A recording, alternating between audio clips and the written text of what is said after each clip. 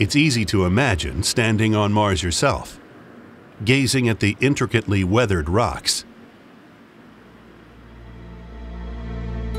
Nearly everywhere our probes look, they see evidence of past liquid water. Though there are no oceans today, there's plenty of hidden ice. The Mars Reconnaissance Orbiter recorded eroded cliff faces, exposing compacted frozen water, in some places more than 100 meters thick. On passes over the poles, MRO's radar revealed up to two kilometers of ice. It's been laid down in layers, suggesting that Mars' climate may cycle between warm and cool times.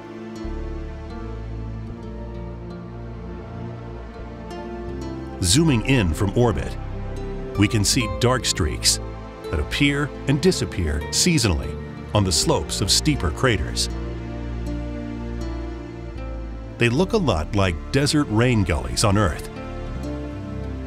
And many researchers thought they might be flowing salty water.